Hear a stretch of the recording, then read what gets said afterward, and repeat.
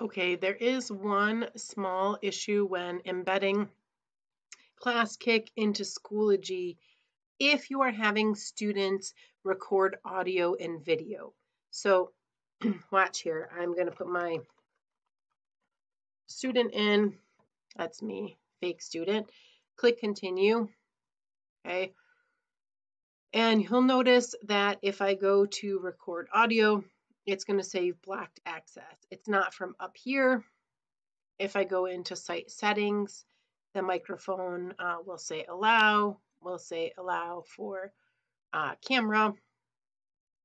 Close this out. We'll reload this page. Okay, so let's try it again. Okay, click on audio, see blocked access, and clearly it is allowed. The reason is it's because it is embedded in Schoology. Okay, so um, a workaround, which uh, so I'm going to log out of this because it won't let me. At least I set my rosters that I only let students log in from one device. So to record audio and video, you have to use this link. So that means you would bypass this step of embedding it and just use a link.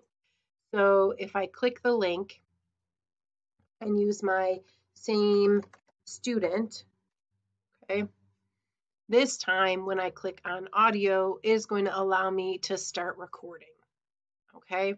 So it was not a computer setting, it is simply that, and again, I'm gonna log out of here because again, I have the, I set it so that students can only access it from one device at a time. I don't want them multitasking on multiple devices, okay?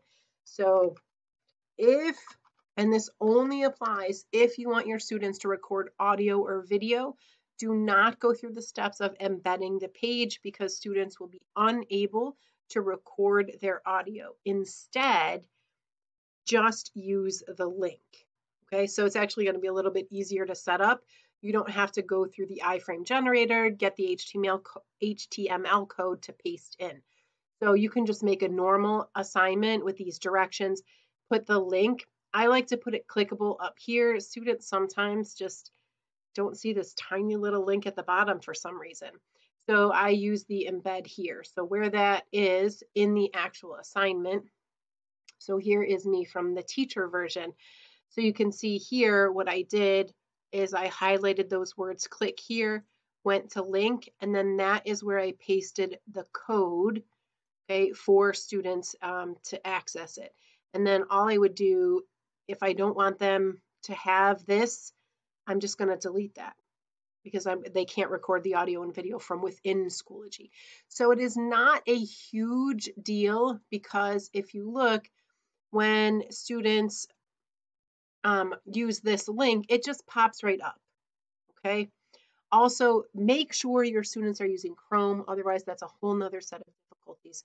Uh, Schoology loves Chrome, it doesn't like most other browsers, and ClassKick is no different.